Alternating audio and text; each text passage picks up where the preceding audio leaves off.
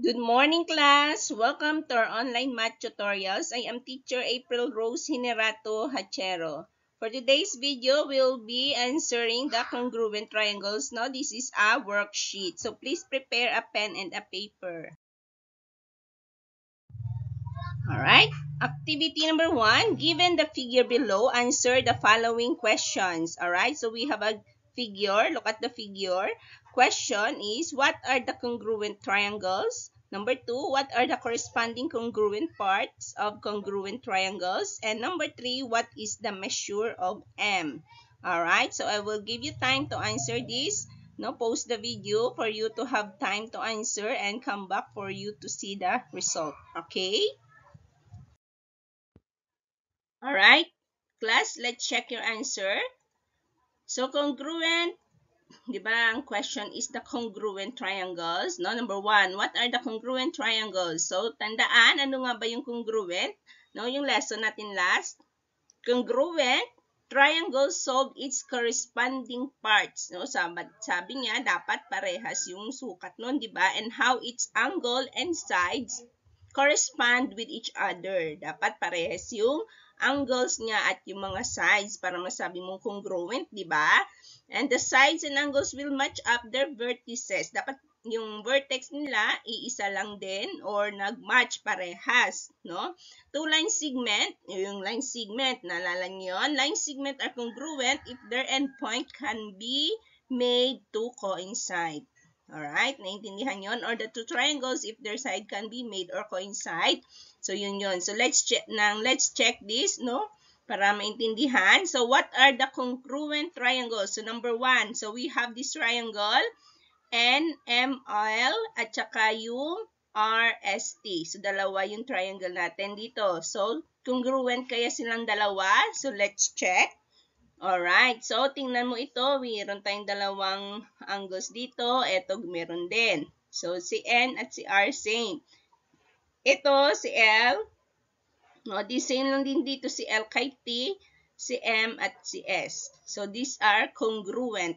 So therefore, we can conclude that the our triangle, no, our triangle, our angle, I mean our angle uh, N, M, at saka si L, no, ay congruent, no, congruent. Congruent daw siya kay, ano, Alright, congruent siya kay triangle R, S, T. Alright, naintindihan? At saka, ito pa oh, no? Ito, may dalawang angle, same lang yan at kay R. So, therefore, pwede din yan, no? Isulat mo yon Si, si angle, no? Si angle N ay congruent siya kay angle R. Alright? Tama ba yung sagot niyo sa number 1? Alright, so let's proceed to question number 2. What are the corresponding congruent parts of congruent triangles? So, yung parts naman niya. So, isa-isahin mo. Tingnan mo. So, we have this, si M, no? Ito si M, dito. Siya yung ano natin, alright, common vertex. Dito sa kabilang triangle, si S ang common vertex. So, therefore, silang dalawa ay congruent nun. No? Siya yung parts of a congruent triangle. So, the question number 2, yung sagot natin, o, dito natin ilagay. So, we have si point M, no?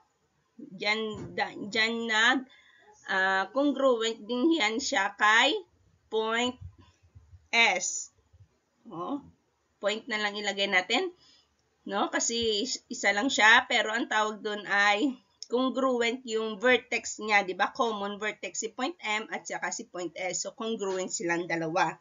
Next, we have, sino pa? Ito, si N, tsaka si M, yung ray na NM, congruent kay, ito, kay RS, no? Ito kasi, oh, dalawang angle yan. Ito siya papunta doon. Ito din, si R, papunta kay S, no? Siya yung congruent niya. So, therefore, we can conclude that ang ray daw ni NM ay congruent kay line ray, no? This is a ray ni RS. Yan. No? Naintindihan?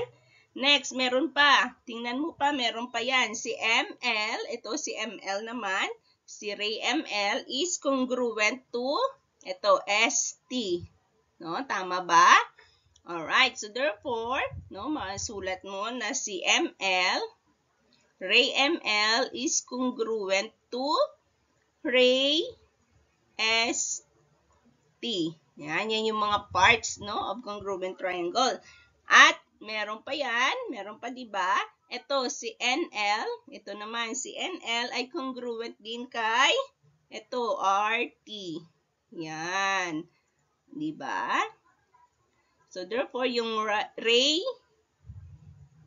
NL is congruent to ray RT. Alright, tama yung mga sagot ninyo. Very good. Next, question number 3. No, no, question number 3. What is the measure of M? Ito yung tinatanong, yung M, yung measure nito, yung angle ng M. 'Di ba? So, alam natin na yung total angle dapat ay ilan? 180 degree. Dapat yung total nyo, di ba? Kapag i-add mo. So, we have this given. Meron ka ng given na 55. May 55 degree plus 65 degree. Ilan na yan lahat? O, i-add mo lang. So, this will be 120 degree. Tama ba? So, yung 120 degree, i-subtract mo lang kay 180. Yan na yung sagot, no? 180 degree minus 120 degree. So, this is 60 degree. So, therefore, yung sagot dito ay 60 degree. Tama ba kayo? 60 degree? Alright. Very good. Oh, I hope you got all got it all, no? Naintindihan? Very good class. So, I hope you learned something. Right, class? Thank you. I hope you learned something. Don't forget to follow me in my YouTube account, which is April Rose Sinerato 1464, and to my Facebook account. So, April Rose Luxin Hinerato. Thank you and have a nice day.